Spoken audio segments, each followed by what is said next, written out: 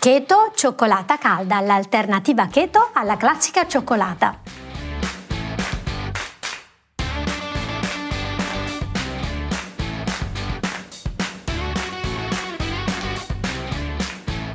Per iniziare aggiungo l'acqua nel frullatore.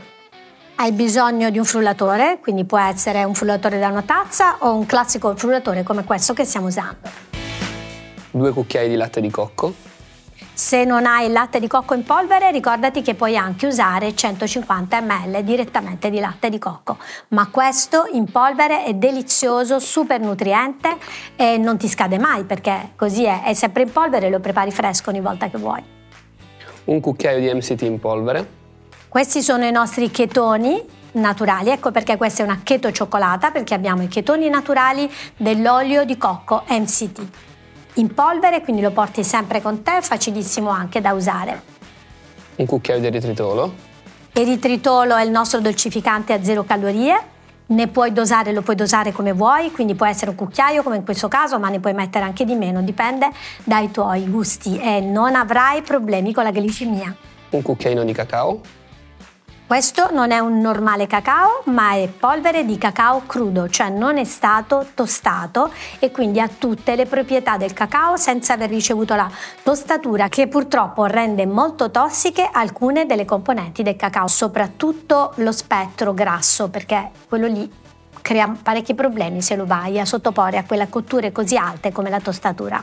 Due cucchiaini di farina di banana questa non è una normale farina di banana, è una farina di banana verde, quindi non ha zuccheri che entrano nel sangue, ma solo zuccheri che vanno a nutrire la flora batterica, quindi un meraviglioso prebiotico.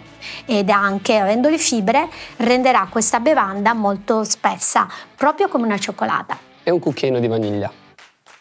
Non stiamo usando altri grassi perché abbiamo già messo una bella dose di olio MCT, quindi non ha bisogno né di olio di cocco aggiuntivo o di ghee.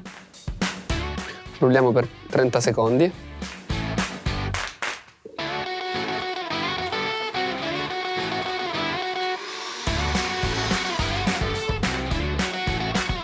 Direi che ci siamo. Ricordati più o meno 30 secondi, l'unica componente un pochino più spessa è la farina di banana, quindi assicurati che tutto sia sciolto perfettamente, non solo, ma da avere anche una bella schiumetta che rende questa cioccolata veramente deliziosa.